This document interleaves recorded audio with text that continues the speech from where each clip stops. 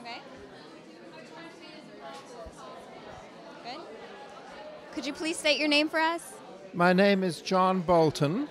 And what organization are you representing? I'm a priest of the Episcopal Diocese of Atlanta, and I work, I work for the Bishop of Atlanta in, in an area that covers central and north Georgia. Is this the first time you've been to the Roswell Community Masjid? Yes, it is. Yeah. And what did you think of this exhibit?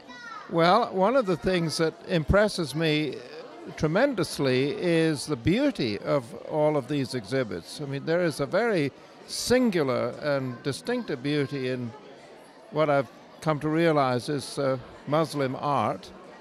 And I've always understood that Muslim art is, is basically geometric because of the prohibition on reproducing natural forms, but that isn't entirely true because it's broader than that. And that's one of the things that I've discovered today, looking at the various other forms of art that that are part of Islamic art. Lovely. We're here with Arshad Anwar. Can you please explain to us your position at the Roswell Community Masjid? I am the resident imam. And can you please explain to us what an imam is? The imam is uh, the spiritual guide for the community, kind of like a pastor at a church. So the community turns to me for their spiritual and community guidance. Yeah. And what do you think motivated the Roswell Community Masjid to present this exhibition?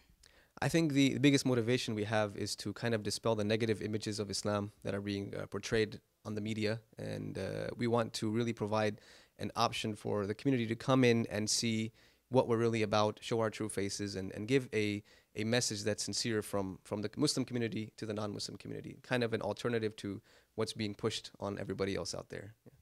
We're here with Shaheen Barday. Um, can you please tell us what your position is at the Roswell Community Masjid? Um, I serve as the Public Relations Director and I'm a former board member of RCM, Roswell Community Masjid. And what urged the Roswell Community Masjid to present this exhibition? We've been working with the larger community for uh, a few years now, working on building bridges and uh, with the community to talk to them about what Islam is compared to what the media shows us. And um, we decided to do something that was very out of the box, creative, to really pull some heartstrings at the visuals of Islam to bring um, the community together. So you will find that we have art, we have smells, we have food, we have chanting. All of these are to bring the community together to show Islam for the beauty it is rather than what is shown on public media. In an effort to combat anti Islamic rhetoric painting the media and correctly represent the world's 1.6 billion Muslims, the Roswell Community Masjid presents Inflections, an exhibit for the Islamic arts. Good afternoon, everybody. Can you hear me? Can you see me? Assalamu alaikum. In Arabic, that means peace and blessings be upon all of you. My name is Shaheen Barday. I serve as the Public Relations Director here at Roswell Community Masjid. Uh, we want to thank everyone for being here today. This is a very special milestone for RCM to be able to deliver a beautiful vision that one of our community members had and wanted to share with the Atlanta community. The vision of beauty, oh, oh, the vision of beauty to demystify a faith that is so widely misunderstood in the West today. We are really excited and have a great program for all of you. Uh, the exhibit will take you through the entire masjid. So if you haven't been here or you haven't been inside a masjid, you guys are all in for a great treat. We have been in this facility for about four years, and RCM itself is about seven years old. We're excited to say that as of this year, we have two full-time employees one of which is our Imam, Imam Arshad, that's hiding behind the door, and he'll be meeting you guys today through the exhibit. And beyond that, this entire organization is volunteer led. So everybody you see here today, all volunteers of all ages, genders, uh, races, all across Atlanta that come together that make RCM what it is today. Um, we take pride in the diversity that this organization attracts. If you have any questions today through the exhibit, Please look for us. You'll see board members and executive committee members wearing silver name tags. Feel free to ask away. I want to start today by introducing to you Maher Budir. Maher has volunteered for RCM since inception and at the planning phase. He has previously served on the executive and revenue committees. Other nonprofit experiences include and are not limited to service on the governing board of a local charter school for nine years and volunteering at other masjids and organizations. Maher is a partner at the Balanced Learning Institute, a business dedicated to helping nonprofit organizations with organizational development, board training, and leadership skills. Maher is also a professional environmental engineer and has served in the state government for 10 years. He currently serves as the Roswell uh, Community Masjid Governing Board Chair. Welcome, Maher.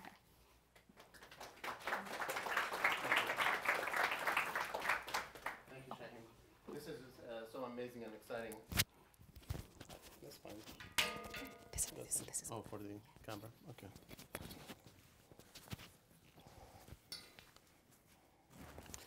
Such an amazing event, uh, so beautiful to see so many um, uh, familiar faces, so many new faces.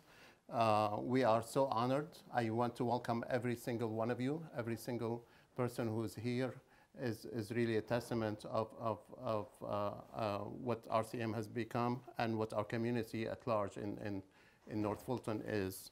Um, we have representatives from so many organizations. I was given given the guest list, and I said there's no way I can go through the whole list. But I, I do want to thank every single organization that's represented here, uh, including, of course, starting with Sam Olens, our, our um, uh, Georgia Attorney General. Uh, Didi Nelson is here from from DOJ. Um, you know, several organizations from Roswell High School to, to, to Chief of Police to, to uh, the Community Foundation. Islamic Speakers Bureau is here. Uh, so I, you know, I'm, I'm not going to succeed in, in naming every single organization that is represented, but please uh, uh, make, make yourself comfortable, make yourself at home. This is a very exciting event for many reasons. One is um, this is our first time really holding this type of event. Uh, uh, second, it is really art is something that touches every single one of us. It's something that's part of being a human being. It touches every human being. And therefore, it is really a common thread, regardless of our background, our, our beliefs, and, and so forth. Art is part of us as human beings. And, and this is such a beautiful thing to bring us together so that we can share a few moments and give ourselves maybe a view through a very tiny window in history that represents um, Islamic art. Islamic art is really a difficult term to define because, as you all know, Islam is present in so many different uh, corners of the world and at so many continents. So it's really a small glimpse of what Islamic art has been and what the, the, the connection has been throughout history. And hopefully that will touch that common thread among us as human beings and, and, and, and uh, better dialogue and better appreciation for e each other. So, um, you know, I, I want to welcome everybody, but I also want to thank, special thanks to all our sponsors. We have a list of sponsors, starting with the Community Foundation, the Uni United Way of Atlanta, um, uh, Dr. Alec Nazi and Marlo Al-Shahal, um, Drs. Imad and Rana Al-Kibbe, welcome. Thank you so much for your support. Um, Al-Khalil family as a sponsor, uh, the Islamic Society of Atlanta, the Islamic Speakers Bureau, um, the Istanbul Center, and a bunch of other uh, anonymous sponsors. So, you know, uh, apparently they're way too humble to be mentioned, but we appreciate, we appreciate all your support and making, making this what it is. Uh, we appreciate uh, special thanks to Alma Academy and Bayan Institute and all the families that lent and, uh, their, their, uh, their you know, possessions and, and artwork to, to make this happen and to make this a success. Uh, again, welcome for everybody. Uh, please make yourself comfortable. Feel free to ask questions. There's plenty of us here. We don't know all the answers, but we will try. we will try. you know, make yourself at home and welcome.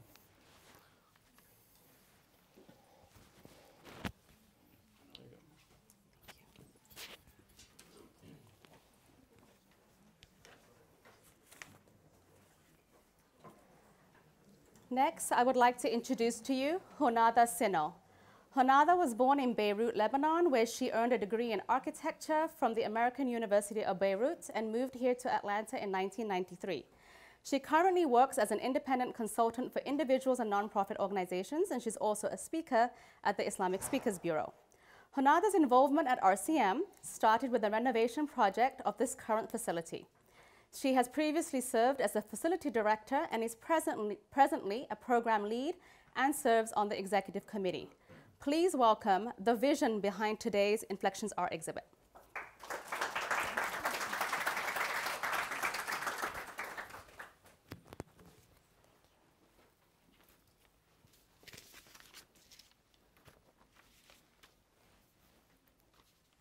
a sword, an orange uniform, shock, fear, outrage, disdain, an image and feelings that ensue.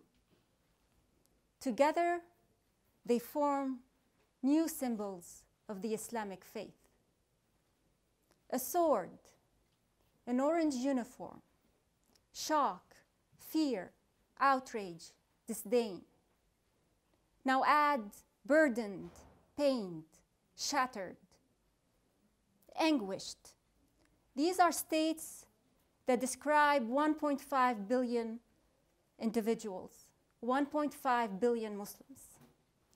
Cries that flood the air, rarely heard, suspended as though still, ready to reverberate through the waves of broadcasting channels, within walls, or simply resonate with another human heart. This powerful image, now turned symbol, is one of many that have come to tell a new story. The new skewed narrative has veiled the existence and constricted the voices of 1.5 billion Muslims who exist as individuals and exist as communities. So today, Inflections is an opportunity for the Muslims who call Roswell, Decatur, Smyrna, and this nation home to share the true narrative of Islam through art. In the context of this particular exhibit, we focus on the following three meanings of inflection emphasis, intonation, and rhythm. Emphasis is used as an opportunity for Muslims to emphasize that which is an authentic expression of their beliefs and values. Intonation is used as an opportunity to reflect our emotions and articulate our attitude towards the current depictions of Islam. Rhythm is used as an opportunity to stress upon bringing to light the beauty of Islam as reflected in its many forms of artistic expression and de emphasize the erroneous images that have become symbols of the faith. The program of the exhibit is aimed to engage your intellect, your senses, and your heart. The gallery itself is a collection of pieces that come straight from local Muslims' homes. This collection is a peek into the collective consciousness of this Muslim community. And so, through the chants, visuals, scents, good food, and conversations with your Muslim neighbors, today is an experience of the true narrative and not just words that recount it. A calligraphy pen ink, paper. Expressions of love, beauty, and grace. An image, feelings, values. Together they form true symbols of the Islamic faith. Thank you.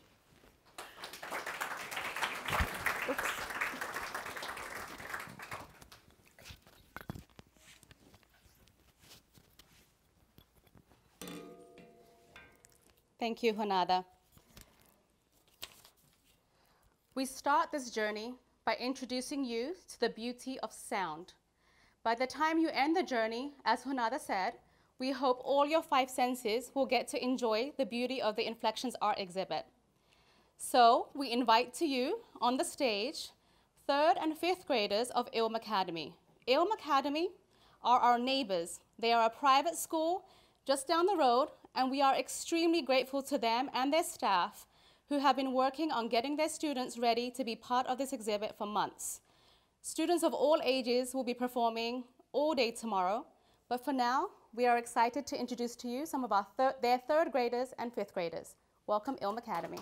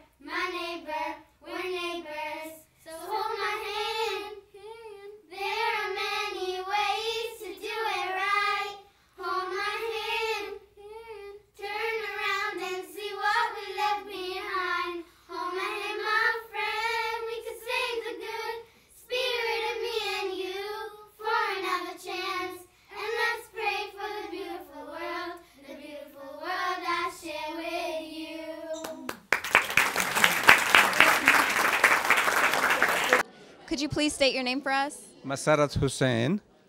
And what organization are you representing today? belong to Islamic uh, Society of Atlanta and also of Atlanta Interfaith Leaders Fellowship.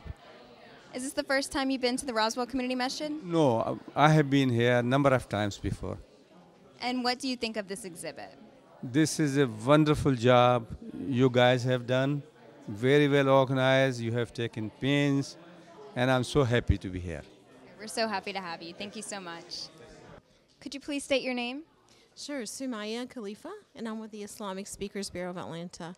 The exhibit was just wow. Uh, it's very impressive, very well put together. Um, all the details, the, the attention to details are absolutely amazing. And just bringing the different arts to people in one place here in Atlanta, just absolutely phenomenal. Congratulations. My name is Mary Ellen Gomes. I thought it was informative, enlightening, um, just rich information for people, you know, to be able to share. I never thought that the whole um, concept of art could be could make such an impact on people that just didn't know anything about the Muslim culture. It was awesome. Could you please state your names? Rusty Grant. Dylan Grant. Walker Grant. It was beautiful. It was amazing. It was very fascinating. I, I enjoyed it. I, I brought my sons along just, just for the, the cultural experience, and, and they um, they really enjoyed it and had a had a good time, and it was very fascinating. Rebecca Welsh O'Connor. I am here because one of your speakers came to our book club after we read this book called The Faith Club, and Fariel came and spoke about the Islamic faith with us, and th- then she invited our entire book club to come. This was a fabulous uh, presentation and really gave you some hands on experience with both the art form and the reading of the Quran, which I thought was, I've never had that experience before. Was there anything in particular that stood out to you about the exhibit? Yes, I realized I really liked the Iranian art. Everything in the exhibit that I thought was exquisite was from Iran, ironically enough. Also, I, I loved the different forms that everything took. The fact that you could see Allah in so many other forms in different countries, which was very impressive to me. I, I didn't realize that it really spanned the globe like it did. And that really it's a peaceful religion. It's not, you know, this, as they were saying in the beginning, it's not this confrontational religion, that it's actually peaceful and it's very, very personalized. And I was impressed with that. My name's Kathy Hoya. I think it's amazing. And I think, I mean, there's clearly so much that I have no idea about. Um, but even to even to sort of start, it, it, it's a place for me to start, and to be around things that are such so beautifully appealing and engaging. I think that's a really that's just a great entry point for me. Even though I know that there's so much more beyond it that I need to know as well. Was there anything in particular that stood out to you?